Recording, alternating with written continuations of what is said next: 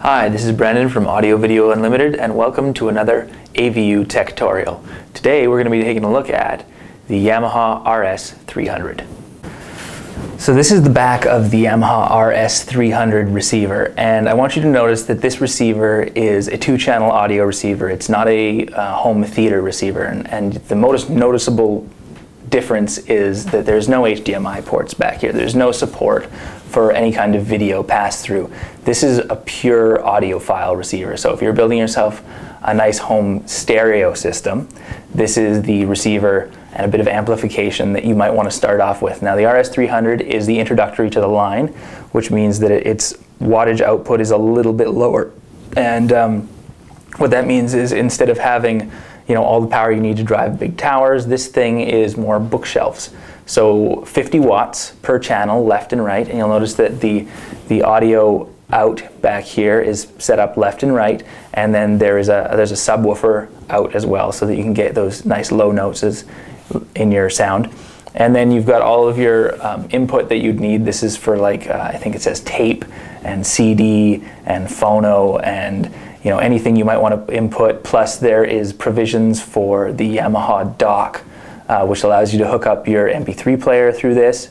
And uh, there's a uh, powered dock where you'll recharge, and there's also a dock that is uh, wireless. So you put a little module on the bottom of your iPod, iPhone, or and you can sort of wander around your house and it streams the music without any loss. Now a lot of units rely on like built-in Bluetooth, but what a lot of people don't realize is that Bluetooth down samples your music pretty severely. So if you're buying something like this where you're looking for a really great sound quality and then you stream Bluetooth with it, it messes with your songs and they aren't going to sound good anyways. But let's spin this around because the other side is actually the more fun side to look at on this.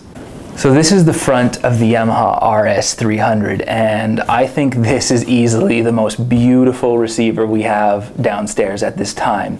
Um, you got these beautiful um, flat knobs up front here and they, they do turn, they're not sliders, but they're just so minimally designed and they feel so good. They're like they're nice and wide, so you can sort of grab them and then tune them to where you just just love them.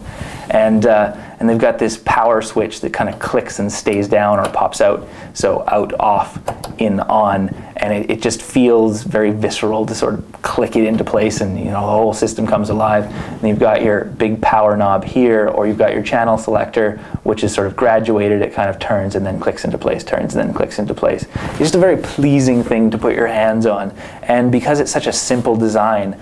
Um, even though it is the introductory model to its line, I think it's actually the most beautiful. It's got the least amount of extra controls on it. This thing is just just wants to help you play some music. You know, it just wants to sound good and look good on your shelf. Um, if I was building an introductory level system, a couple of bookshelf speakers, just wanted to listen to my tunes in my dorm or my apartment, the 50 watts that this thing outputs per channel is going to be more than enough and then this beautiful faceplate. I mean, this is an easy choice for me. I would I would pick one of these up in a heartbeat, throw it on my shelf, throw some speakers next to it. Um, maybe put a, a, record player. I'd love to hook up a record player to this. I think the aesthetic is just, it's kind of got that retro feel to it. It would be really beautiful. The Yamaha RS300 has um, plenty of power to drive some bookshelves, not quite enough to drive some big towers. I actually use a slightly larger version of this receiver to drive the uh, larger towers that I've been reviewing um, in the last few uh, written reviews. Uh, this one uh, wouldn't do that. 50 watts is really limiting you to the bookshelves, but uh, the sound that comes out of these is excellent. Uh, you will not be disappointed with the sound quality that you get from these Yamaha units, and uh, the build quality is, is rather nice as well. Like I say, I love the design of this thing. It seems to be very solid. It has the art wedge base, which um, minimizes vibration, and of course they're using all premium components in it. So, uh, so far we haven't had any letdowns with these units in the store. Um, definitely a recommend for somebody who is getting started into two-channel audio and thinking of maybe pursuing a bit more uh, musical finesse in their system. This is a step up from your, you know, pre-packaged home stereo systems, right? Well, I think that pretty much covers it for the Yamaha RS300 two-channel audio receiver.